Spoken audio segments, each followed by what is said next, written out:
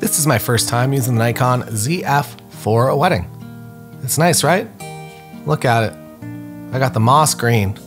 And well, I was someone that reviewed the pre-production version of this camera. I did not get to keep that one.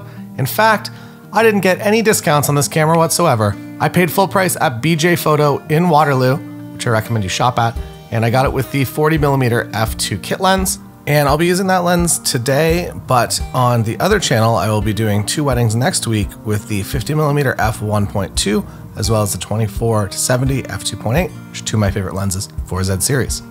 First rule of new cameras as a main photographer, don't do an entire wedding day on a camera that you haven't used. Today, I'm actually recording a full wedding day behind the scenes video for my wife, Lindsay. This video will be up soon on our new channel that is dedicated to just wedding photography only.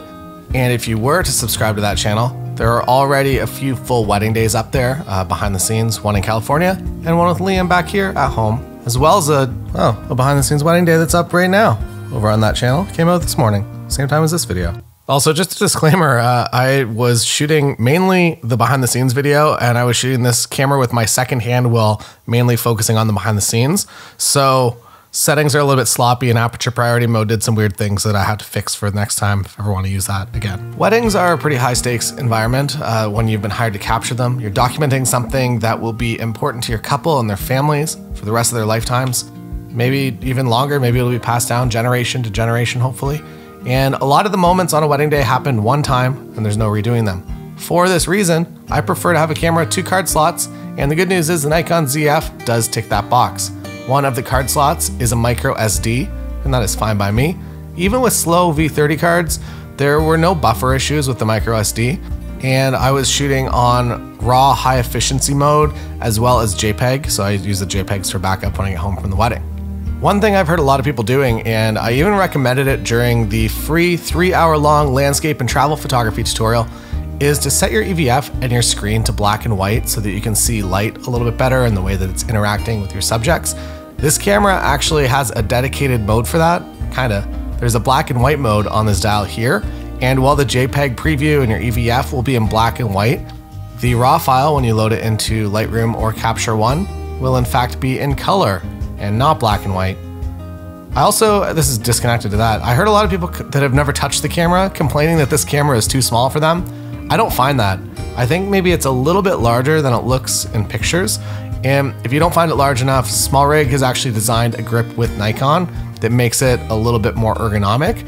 And while it does make the ergonomics absolutely better, it makes card access a little bit more difficult. But hopefully that's an, only an annoying thing you deal with once per day. There is a battery opening, so you can easily change batteries, so that's no problem. One feature I'm very happy to see is in the AF area mode, you get a C1 and a C2, and you can make these boxes any size you want, and the eye autofocus only works within them. So if you want to make the box a little bit tighter, just have people coming down the aisle so it doesn't accidentally identify somebody on the edges as the subject of your interest, uh, you get two of those, and I like them a lot. I haven't set them up yet. This is my first literal third hour with this camera, and uh, we'll get there next week on the other channel. The battery life for weddings is fine. Uh, I've been happy with any of the Z series products so far. Uh, you don't get a charger in the box, or at least I didn't get a charger in the box with your camera. You get a USB C cord, just a bit of a bummer. So obviously, this camera charges over USB C, uh, but you don't get a plug and you don't get an actual uh, charger anymore with it. Just a bit of a bummer.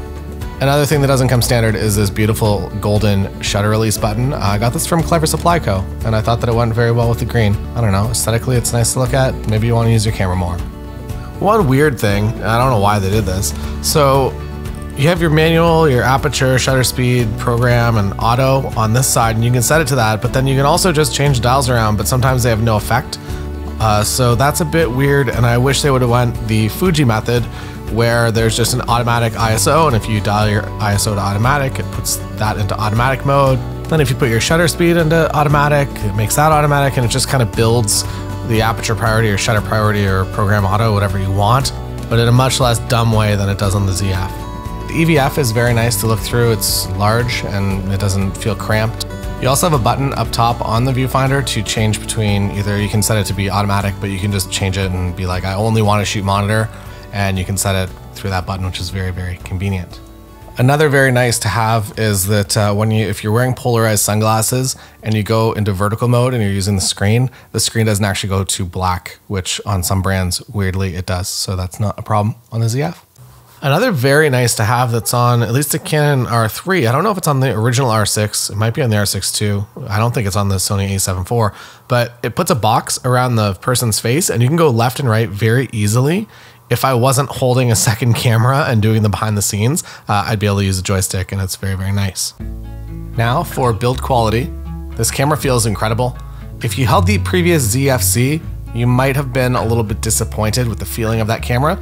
This camera, the ZF, does not disappoint and it feels very nice. The brass dials are very satisfying and feel like a very well made film camera. The autofocus, as you've been seeing, is also really well done. It takes a lot of what they developed for the Nikon Z8 and Z9 and they've put it into this. So you'll actually see a really solid improvement if you're comparing it to something like the Nikon Z6 II. That said, the ZF is not a stack sensor like the Z8 and Z9, so you won't see identical autofocus performance, but in my testing, I am very, very, very happy. If you are someone that is considering the Nikon ZF for your wedding photography needs, uh, I am very happy to recommend this camera. I would be happy to use two of these as camera bodies for wedding day. The only thing that you don't get in comparison to the Z8 is uh, the silent shutter mode. It'll be fine, but it won't be as good as the Z8 and the Z9. So that might be a reason to use one of those as your main camera if you want to go completely silent and use that for most of the day. However, I find the shutter noise, the, the mechanical shutter on the ZF uh, to be, I don't know, polite and respectful. It doesn't sound aggressive. It's not a huge shutter slap like some of the DSLRs. And it feels fine in a wedding day environment, uh, even if things are a little bit quieter. Now, one thing I didn't really get to test a whole lot in this video, and it will be coming. So next Friday and Saturday, I have two weddings. I'm going to be photographing them both with the ZF, either as a main camera or a pretty much primary camera. And I will be doing a behind the scenes video over on the Learn Wedding Photography channel. So get on over there and you'll be able to see more of a full wedding day now that I'm comfortable with this camera and I know that it performs to my needs and my expectations.